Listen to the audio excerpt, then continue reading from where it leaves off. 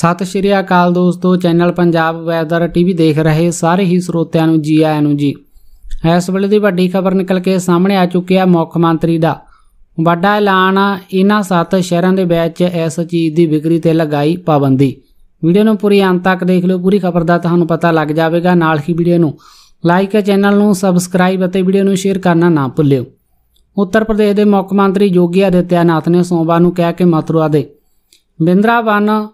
ਗੋਵਰਧਨ ਅਤੇ ਨੰਦਗਾਮ, ਬਰਸਾਨਾ, ਗੋਕੁਲ, ਮਹਾਬਾਨ ਤੇ ਬਲਦੇਵ ਵਿੱਚ ਛੇਤੀ ਹੀ ਮਾਸ ਅਤੇ ਸ਼ਰਾਬ ਦੀ ਵਿਕਰੀ ਉੱਪਰ ਪਾਬੰਦ ਕਰ ਦਿੱਤੀ ਜਾਵੇਗੀ ਤੇ ਇਸ ਕੰਮ ਦੇ ਵਿੱਚ ਲੱਗੇ ਲੋਕਾਂ ਦਾ ਹੋਰ ਕੰਮ ਦੇ ਵਿੱਚ ਮੁੜ ਸੇਵਾ ਕੀਤਾ ਜਾਵੇਗਾ ਤੇ ਭਗਵਾਨ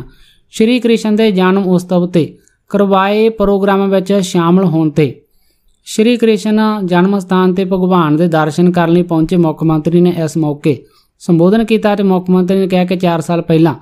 2017 ਦੀ ਇੱਥੋਂ ਦੀ ਜਨਤੀ ਦੀ ਮੰਗ ਤੇ ਮਥੁਰਾ ਦੇ ਵਿਦਰਾਵਨ ਨਗਰ ਵਿੱਚ ਪਾਲਿਕਾਵਾਂ ਨੂੰ ਮਿਲਾ ਕੇ ਨਗਰ ਨਿਗਮ ਦਾ ਗਠਨ ਕੀਤਾ ਗਿਆ ਤੇ ਇੱਥੋਂ ਦੇ 7 ਪਵਿੱਤਰ ਸਥਾਨਾਂ ਨੂੰ ਤੀਰਥ ਸਥਾਨ ਵਿੱਚ ਐਲਾਨਿਆ ਗਿਆ ਹੈ ਤੇ ਹੁਣ ਜਨਤਾ ਦੀ ਇੱਛਾ ਹੈ ਕਿ ਇਹਨਾਂ ਪਵਿੱਤਰ ਸਥਾਨਾਂ ਤੇ ਸ਼ਰਾਬ ਅਤੇ ਮਾਸ ਦੀ ਵਿਕਰੀ ਨਾ ਕੀਤੀ ਜਾਵੇ ਤੇ ਮੈਂ ਭਰੋਸਾ ਦਿੰਦਾ ਹਾਂ ਕਿ ਅਜਿਹਾ ਹੀ ਹੋਵੇਗਾ ਤੇ ਇਸ ਲਈ ਇਹਨਾਂ ਜ਼ਿਲ੍ਹਿਆਂ ਨੂੰ ਪ੍ਰਸ਼ਾਸਨ ਨੂੰ ਜ਼ਰੂਰੀ ਕਾਰਵਾਈ ਕਰਨ ਦੇ ਹੁਕਮ ਦਿੱਤੇ ਹਨ ਤੇ ਉਹਨਾਂ ਨੇ ਕਿਹਾ ਕਿ ਲੋਕ ਇਹਨਾਂ ਕੰਮਾਂ ਦੇ ਨਾਲ ਜੁੜੇ ਹਨ ਤੇ ਉਹਨਾਂ ਨੂੰ ਹੋਰ ਕੰਮਾਂ ਦੀ ਸਿਖਲਾਈ ਦੇ ਕੇ ਉਹਨਾਂ ਦਾ ਮੁੜ ਵਸੇਵਾ ਕੀਤਾ ਜਾਣਾ ਚਾਹੀਦਾ ਹੈ।